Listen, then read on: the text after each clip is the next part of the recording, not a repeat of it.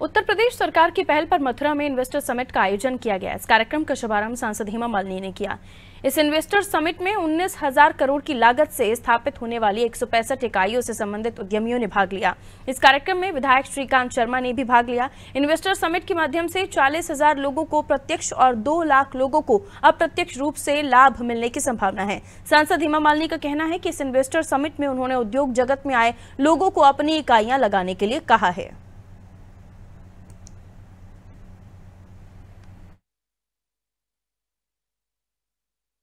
या उम्मीद तो बहुत है कि यहाँ पर काफ़ी लोग आएँगे और इन्वेस्ट करेंगे, जिससे रोज़गार बढ़ेगी हमारे मथुरा में और और और बहुत सारे काम भी हम कर सकेंगे यहाँ पर। और हमने पूरा आश्वासन दिया है और हमारी सरकार भी दे रही है। योगी जी ने कहा है कि यहाँ पर सब किस्म का सुविधा सबको मिलेगी, जो इंडस्ट्रीज़ यहाँ लगाने आ रहे हैं। पहले जो भयभीत का एक माहौल था वो नहीं है इस वक्त। इस वक्त बहुत अच्छा है सब लोग बहुत अच्छा कोऑपरेट कर रहे हैं और बहुत काम होगा यहाँ कितने निवेश पर स्वीकृति हुई है कितने उद्योगपतियों ने इसमें उसका वो डिटेल बताएँगे बाकी। तो मुझे इतना डिटेल में मालूम नहीं है लेकिन काफ़ी इन्वेस्टमेंट करने के लिए लोग तैयार हैं। तो यही बहुत बड़ी बात है हमारे लिए।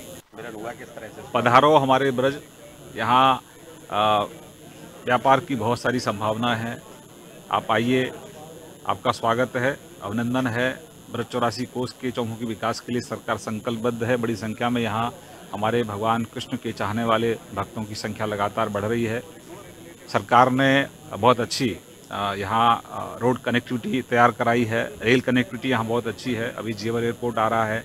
तो हवाई जो हमारा जो एयर कनेक्टिविटी है वो भी बहुत अच्छी होगी। तो यहाँ पर बहुत सारी संभावनाएँ हैं निवेश की। आप आइए यहाँ निवेश करिए हमारे ब्रज में आइए।